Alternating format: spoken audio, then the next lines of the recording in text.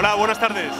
Bueno, estáis viendo, esta es la fuerza del cambio. El próximo 26 de junio vamos a decir sí al cambio, vamos a decir sí a recuperar la universalidad de la sanidad pública, vamos a decir sí a subir el salario mínimo interprofesional, vamos a decir sí a un nuevo estatuto de los trabajadores que recupere muchos de los derechos laborales perdidos durante estos últimos cuatro años.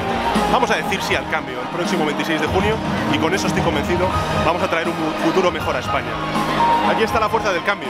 Compañeros y compañeras, millones de españoles y españolas que en el año 82, en el año 2004 hicieron posible el cambio y que ahora mismo estamos convocados el próximo 26 de junio para que haya un referéndum de nuevo por el cambio, sí o no. Yo apuesto por el cambio. Espero que tú también apuestes por el cambio diciendo sí el próximo 26 de junio.